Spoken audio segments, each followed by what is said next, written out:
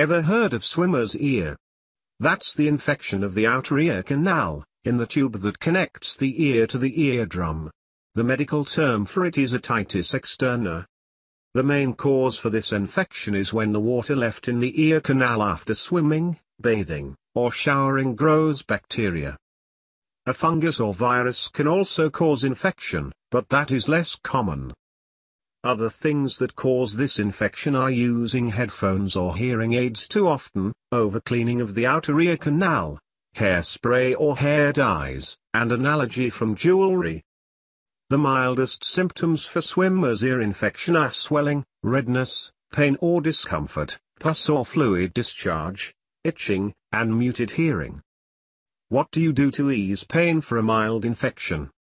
Here are some ways to lessen the infection and allow the ear canal to heal. White vinegar. The acid in vinegar helps kill the bacteria in the ear, cleaning out the infection. This makes it one of the best cures for swimmer's ear. Mix an equal amount of white vinegar and rubbing alcohol in a bowl. Lie on your side with the infected ear facing up. Put 2-3 drops of the mixture in your ear, using a dropper. Keep it in for 5 minutes. Then sit up and tilt your head to let the mix drip out of your ear. Do this 2-3 times a day. Warm compresses. Try a warm compress if you see a pus buildup or a fluid discharge from your hurt ear. This will help because the heat will help the fluid drain and ease the pain. Start by soaking a washcloth in hot water and then squeezing out the extra water. Place the compress on the infected ear for 2 minutes, and then tilt your head to let the fluid drain. Take a 10 minute break and do it again if needed. Another way to do this is to wrap a heating pad in a towel and put it on your bed. Lie with your infected ear on the heating pad for a few minutes. Do this as many times as needed. Hydrogen peroxide because hydrogen peroxide is a natural bacteria killer, it is a great way to dry out the fluid in the ear and cure infection. Buy 3% hydrogen peroxide. Lie down and put 3-4 drops in the infected ear, using a dropper. Stay in that position for a few minutes.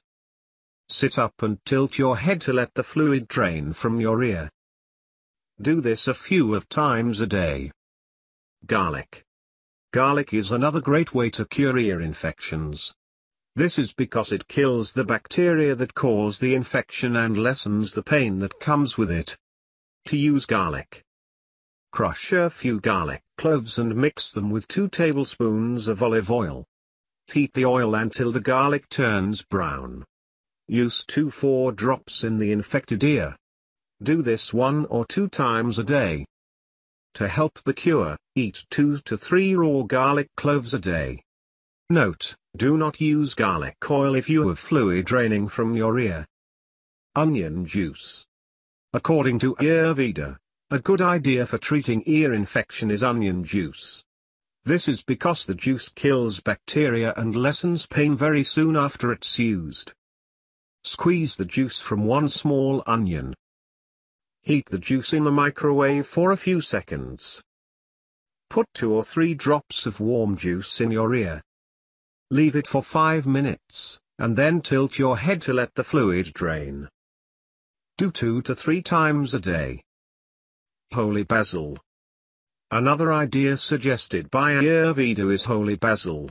Because it kills bacteria, it helps fight the ear infection and soothe the pain. It also helps treat fluid discharge. Squeeze the juice from 4 or 5 basil leaves.